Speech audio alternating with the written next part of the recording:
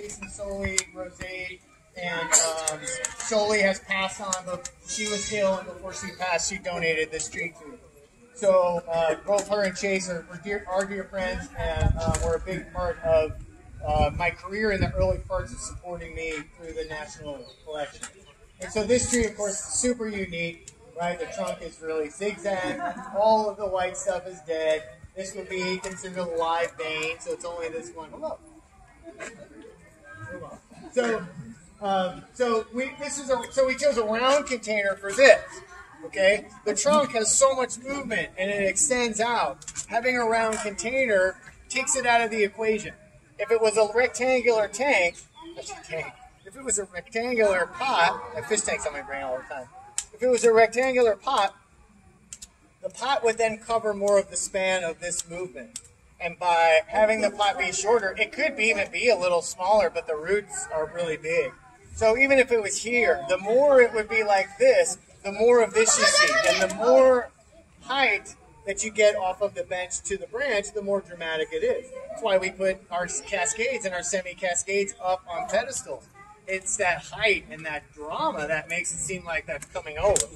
So this tree maybe was growing out of a crevice somewhere, and then this died, right? And this jetted off, and then this broke, and then it started growing this way. And um, so it's really cool. Shimpaku junipers have a really nice small foliage, which is why they're sought after. And um, and so, and this is a Japanese container. Uh, this is a, although cheap, a Japanese kind of container, and uh, it has just a little wild strawberry in there, which of course makes nice little flowers and fruit, and it's pretty contrasting. So we have not only a color but a glaze in our accent plant. And here, of course, this is unglazed, and it actually is reminiscent. Junipers have more of a reddish bark, so this is more of a brown, but very earth tone, right? Just matches the soil. The idea for this one is that I just want the pot to not be there.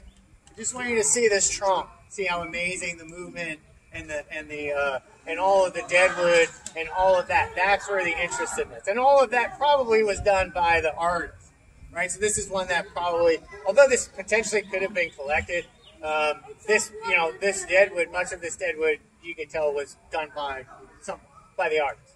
And so we really just want to highlight that, highlight the trunk movement, and then the foliage is used oftentimes to frame things in. So we're, we're using foliage to frame in different things and frame in different pieces of deadwood. And I'll show you some other examples of that too. So really nice tree, great story, dear friends and uh, it's a it's an honor to have this tree as well. That blooms, and um, there's one, there's like two little flowers here that are starting, and so it's coming along. Um, this is right about the time. This is right about the time of year. So I always hope for it to be done by this weekend every year, but it's always like a, the next weekend. So when these start to simmer down, then this will take off. And uh, this container is by Eli Akins, who is a potter. Um, it's uh, Waldo Street Pottery out of Atlanta. And so you can see this container is very complimentary. When it gets its fall color, um, it's just it's really it's just really nice. I like the richness of it. I like the fade of it, and the and the fall color on this is just it just it just it looks like a pumpkin spice latte. It's just like this perfect fall thing. And so, not wanting to contrast this, wanting to keep this very complimentary. Um, this was very flat, and a couple of years ago, I actually moved these little trees to the front. So as we talked about a little bit inside, for those that were in there, when we're creating interesting forests, there's a few factors that come into play. Of course, with any tree, you know, foliage size and, and tree size and creating scale and proportion is important. Um, but we want to create this, you know, the, the view, the look of a, a natural forest. So you often have a primary tree, right? That would be the, the, the parent tree that grows to maturity and starts to set, starts to reproduce and set seed. And then you start having other trees that are kind of popping up. So typically you'll have, you know, your smaller trees either towards the front or the back. Having small trees in the back gives you that illusion that they're far away and they look small. Having trees, small trees on the periphery also, when you're just even driving down the highway and you see a forested area, that the periphery in the front is where you see the seedlings and the saplings because they find light. They find a place to come out. Not many seedlings are going to make it if they start in the center of the mix. So they're not going to get enough resources. So, or they're going to have like one long crazy branch that goes to a, a, an opening.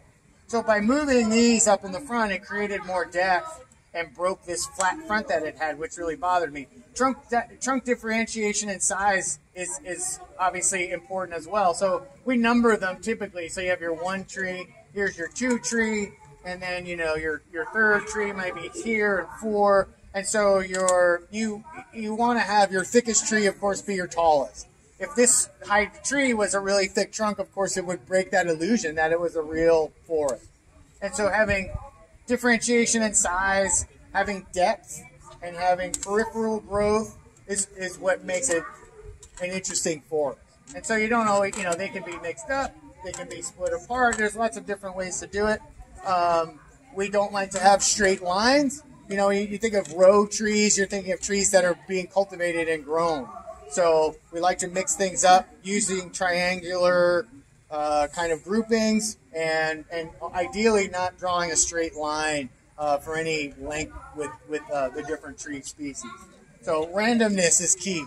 So we go through a lot of, we go through like painstaking efforts in bonsai to manipulate and create things, but also make it look like we weren't there, right? So you don't, the greatest, you know, compliment is that it doesn't look like anyone's ever worked on. And right, so that's the, I like to, that's for me, that's what I'm shooting for. To totally remove myself from it and make it just seem like that's the way it's supposed to be and that's how it would grow. So you don't want to see that manipulation. But so we go through, we do all these things to make things look natural, but it's all very like a process thing. So like I said, much of this was created before me. I've altered it slightly, I think, to kind of improve that depth of field.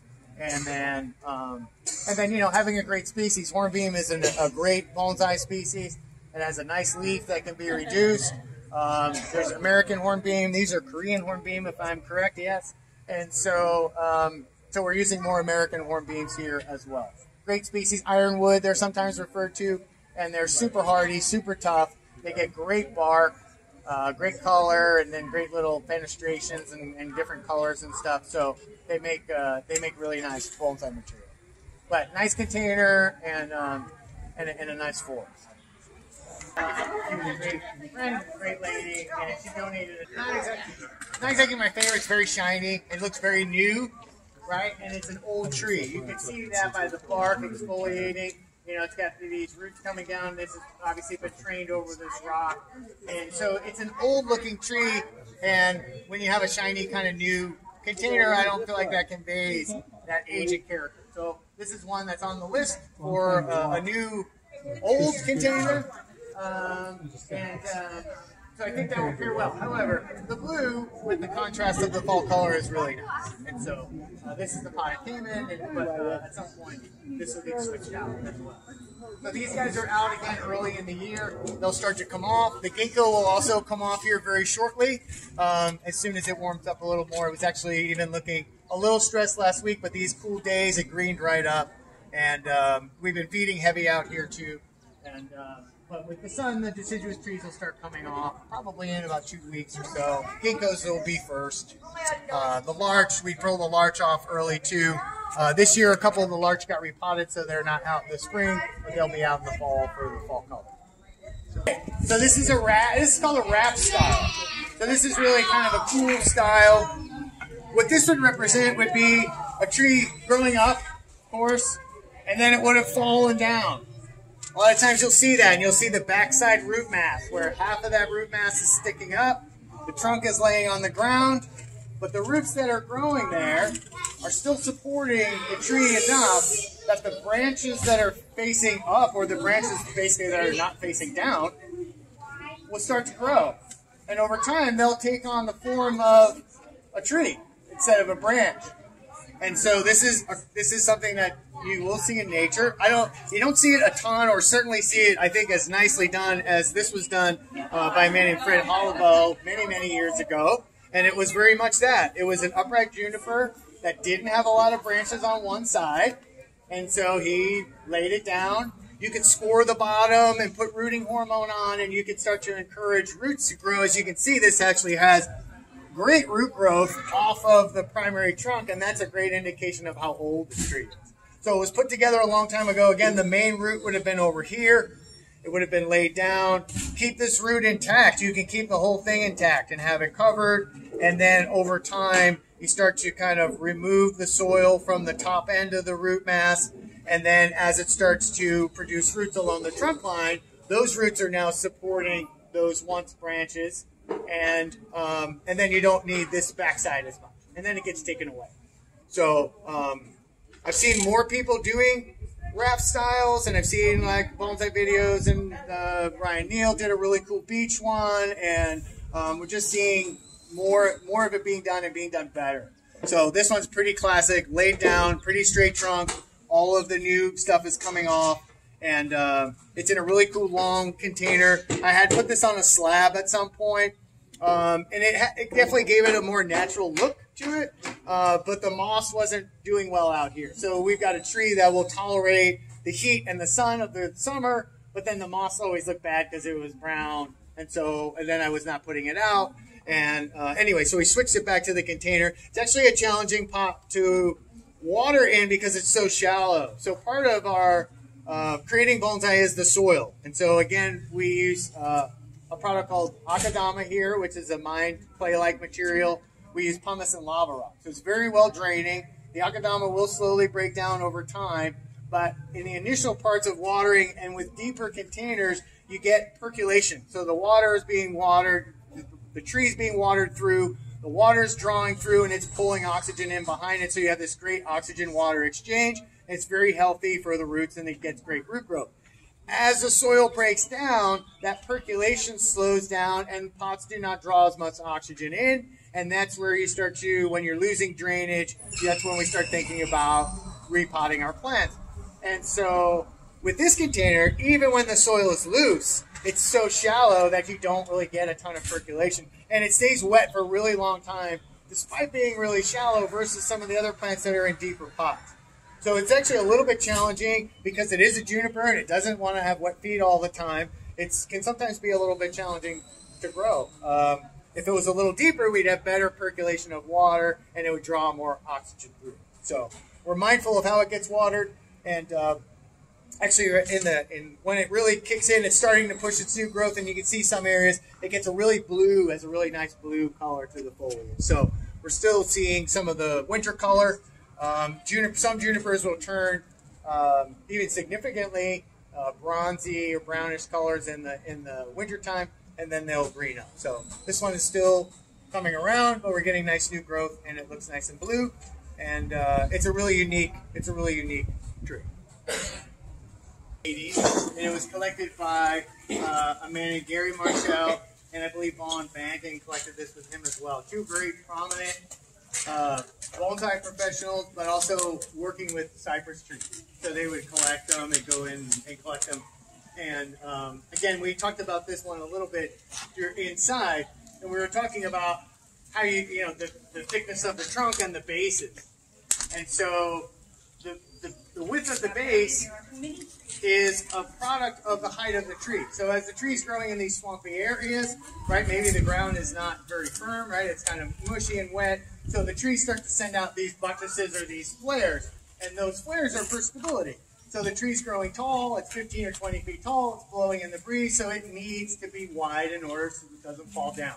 So this root base, and it probably was covered by water at some point during the year, right? It might be in a flood basin, maybe the water level was up, so these buttresses flare out.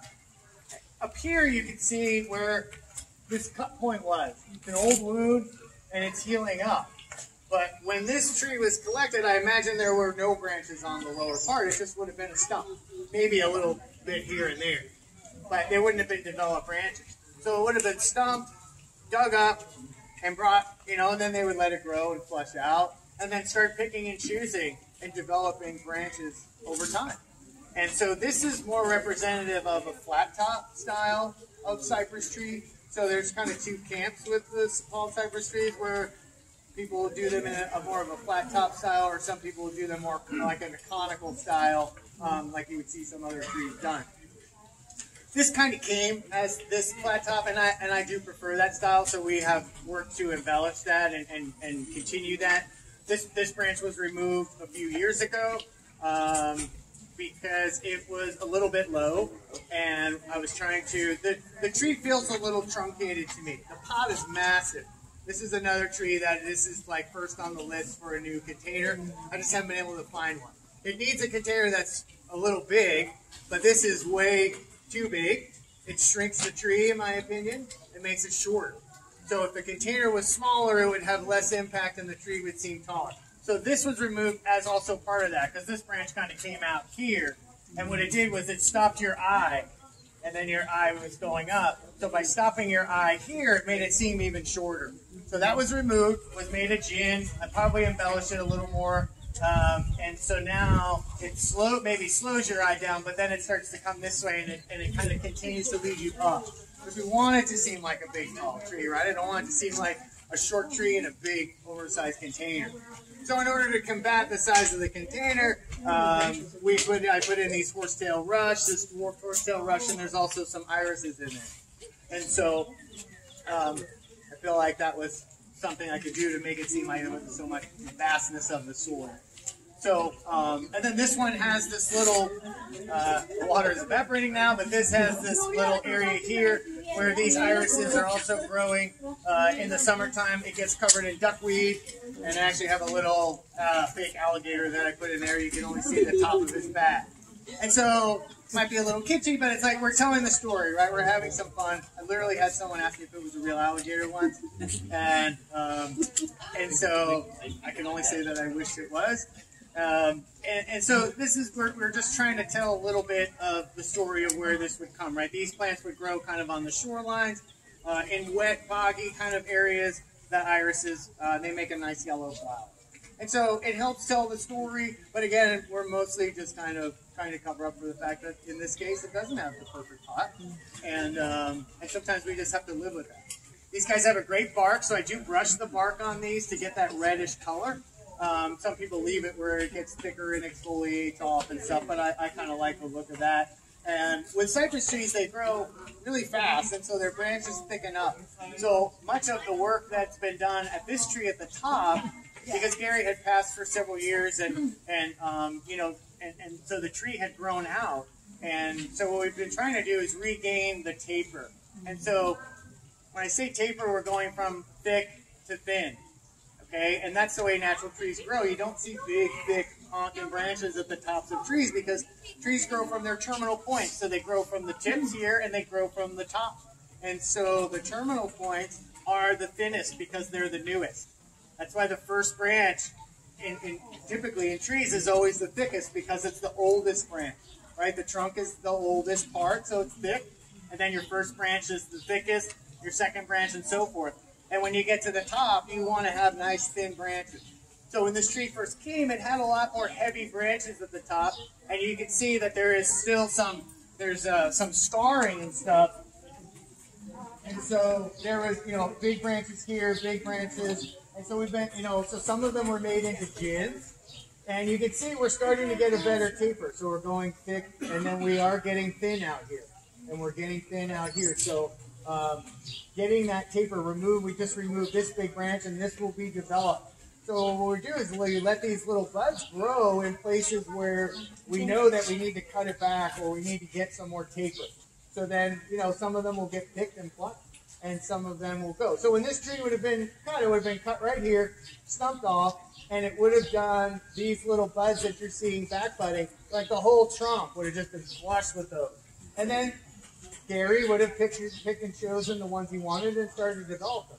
So the big thing with these, and there's another Vaughn Banting uh, flat top cypress at the National Collection, and um, which is just an absolutely amazing tree. And the taper on that tree is so good, and it's a much more slender trunk tree. But even my time volunteering there and an intern there, it, I marveled at that tree because I certainly now know, and I thought at the time I knew, but now I truly know how hard it is to keep that refinement and to keep those thin branches at the top because they send a ton of energy here. That's the whole premise of the flat top, right? It goes up to the sun and it flattens out and makes it, and it just says, hey, I'm just taking all that sun in there.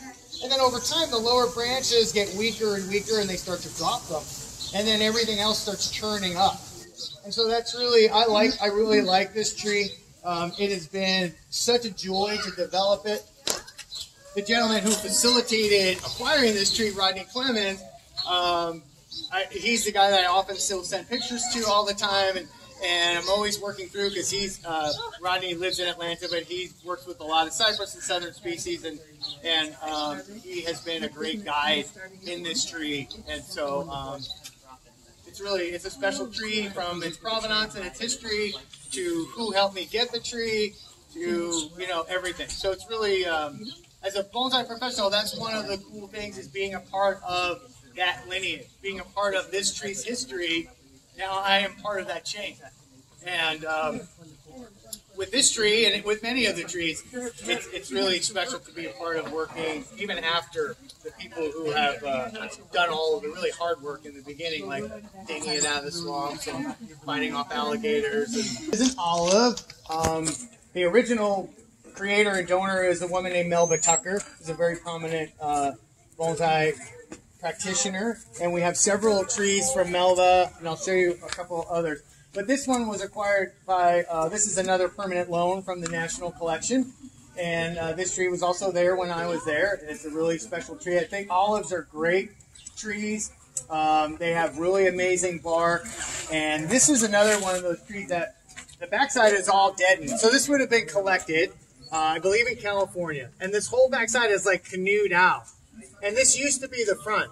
Before the tree got donated here, they had actually changed the front of the tree at the National Collection. Jack did, and they started to change the style. And um, and so here you can see that although the deadwood is not the bright white like you'll see in junipers, because we put a little bit of ink in there to gray it.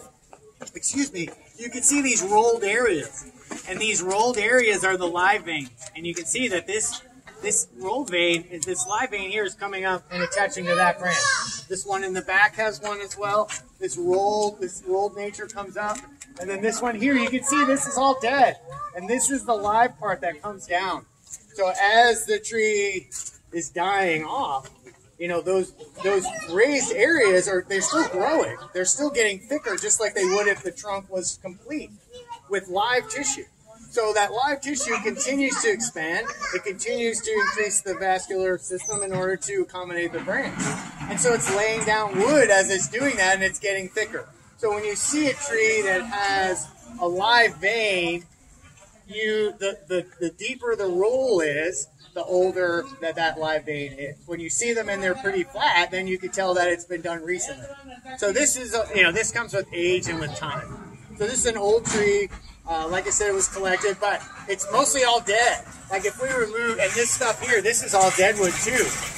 All of this. So the deadwood is, you know, still a big part of the structure of the tree, keeping it from just crumbling. And so at some point, you know, we keep treating the deadwood and slowing down the process of decay.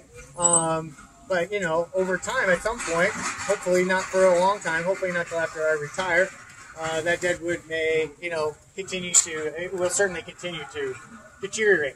But it doesn't make olives, at least uh, it has not here, and uh, but it has a great leaf, really tolerant of the conditions up here, has a nice, you know, these Mediterranean plants are tolerant of dry, hot conditions, and the leaves get like this little haze on them, which protects them from some of the sun, and they're very thick and kind of leathery. So, um, really interesting tree. Very, uh, so this is the other Ron Lang container that was the limber pine. So Ron had made two for us. Um, this too was, uh, uh, uh, I'll let you know another unfortunate story. This came in a container from the National Collection, which this is not. And during the moving of the tree, uh, one of the feet of it caught an edge on one of the carts and actually fractured. So we had to replace it. And I'm not sold that a round container is the best container for this tree. I do think it would be best uh, back in a rectangle. So this is yet another one that's on the list for new pots. Um, so some days I like it, other days I don't. Um, but it's, it's, I think the best pot that we have to, to show the tree in the best way that we can right now. So, but another Ron Lang container. Ron made great containers. On Mr. Nakamura's beech. Um, and you can see the base on this thing. It's super old. The bark is a beautiful color. Probably, you know, 100 plus years old, I would assume. And um, it's just a really wild tree. It has a ton of cut marks, and they all need to be embellished. We've started doing that more, um, where we're starting to actually work these instead of trying to hide cut marks or wait for them to heal over, which takes a long time, actually embellishing them, making them old, making them uh, making them into features, which is what would happen with a natural tree. This would rot back and die, and then it would create. So this year, this one will get more work like that. This won't be out very long as the conditions change anyway, and then we'll start to look. But this has a great old base. I don't know the history of this aside from it came from Mr. Nakamura, so it may have been grown in the ground, and that may be part of kind of the development of this base. Um, but either way, it has a really cool, gnarly base. Again, the the white the white bark on the Japanese beech is just absolutely gorgeous. And uh, and and once we actually start to develop a few things uh, that right now I would consider to be, uh, you know, an eyesore or something, I think that the tree is really going to be a lot better moving forward. So, and the container, you know, a big oval. It is a big, solid tree. This could easily be in a rectangle. Um, the glaze, you know, it has it has more of a yellowy kind of fall color, so it's it's a lighter blue, which is okay. Um, so I feel like this container is better than some of the others. So although I feel like this could be improved, um, I feel like it's a better one. And again, we have an unglazed um, accent plant. It's a bigger accent plant, but it really kind of balances out the, the mass of the tree. Tree donated straight. There's a couple here that go a little bit straight. They drop back. Um, but the primary tree is right in the front. And then the smaller trees are all pushing towards the back, right? And you can see the angle. So when you're looking at stuff at a distance, of course, it gets smaller. It gets further away as, as it gets further away. So you have this downward movement back here. You have the really small trees in the back. And it's almost se separated into a couple of groups. And here, of course, there's a couple of small ones too. The bark is absolutely amazing on all of these things. And these would have all been individual trees, of course. They would have been all, you know, most forests would have been individual trees that either would have been put together, um, you know, and then developed, or sometimes they'll be developed individually and then could be put together at some point. So I don't know how she would have done this, um, but they would have all been individual. When it comes out of the pot now, it's just one mat of, of, of roots. So it's just like a doormat, basically. And then we will, you know, we'll prune, prune it, prune underneath. These guys are vigorous root growers. They grow lots of foliage, really small, nice leaves, which again lends itself um, to the size of the tree and gives that scale and proportion that makes it seem like a tree in the distance versus um, a small tree sitting on a pot and a bench. So um, recently we I added a little, normally this has a ton of moss on it too. And because it got repotted this year, the moss came off. So we'll, we'll reapply moss to it. Um, we I started adding a couple of stones and like a little path and stuff just to get a, feel for that. There was uh, the potential of actually somewhat separating this and creating. Melba made a lot of like rock plantings and group plantings, and there's one at the Pacific Bonsai Museum uh, that's also has you know that that is a group planting or forest planting that has these different rocks and stuff in it. So um, I was considering where these could be di three different clumps basically, where this would be one, this would be one, and this would be one, and we could change the levels a little bit and break it up. So putting these rocks in this year and doing a little bit like that was a way for me to kind of uh, do it and get a sense of whether that was something I wanted to do. Um, and also look for a container that facilitate that because it would need to be a little bigger, potentially a little deeper to allow for having that that change of, of uh, grade there. So, um, but it's a really beautiful planting, and um, I'm not my goal is never just to change things for changing sake. We can change things to improve it or help tell the story better for what we're doing here, um, and knowing that Melba um, made a lot of plantings like that, um, those are all things I take into consideration when when making changes on trees. Certainly from prominent people or people who have been very influential in my life. Um, you know, you know, changing those things is not something I take lightly. And um, so that's why I'll take a year to settle in. We'll get moss in here. We'll add a few more rocks.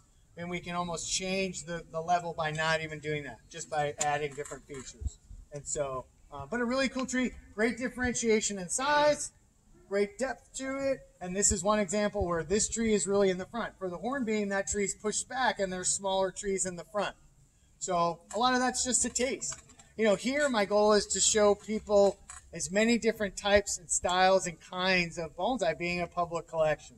So we're trying to do things that are more traditional. We're trying to do things that are more this American natural kind of uh, style that is developing using American potters and supporting American bonsai community using native species.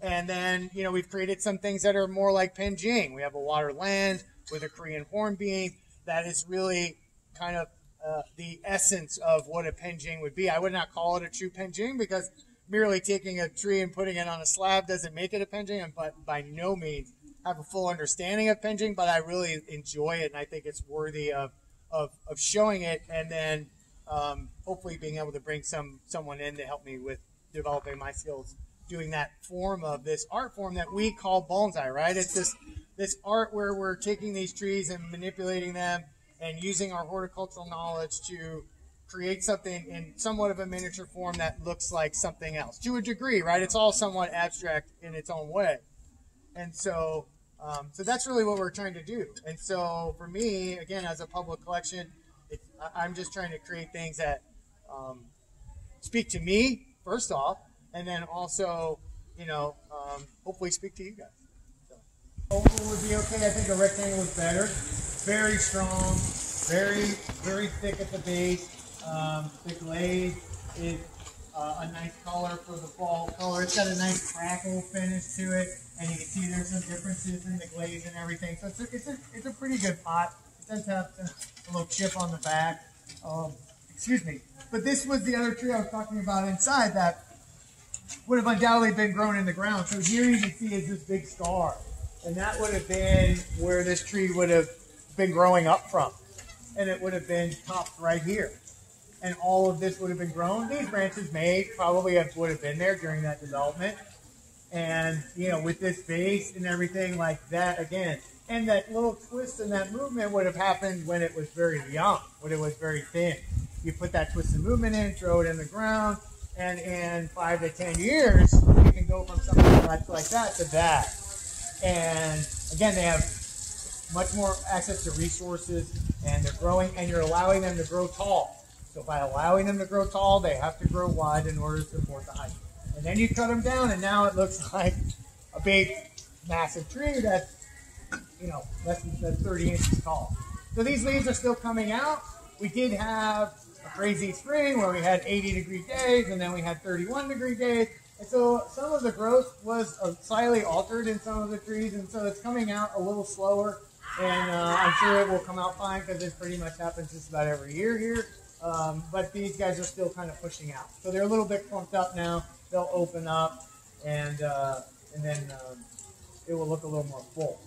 But here's another case where a tree was grown, you know, with the purposes of bonsai, right? This wasn't a tree that was grown and then someone just like dug it and decided like I imagine that this was was grown for the purposes of bonsai and all of that was very calculated. But this is a massive scar and it's all but healed up, right? If I didn't point it out, you might not have even noticed it.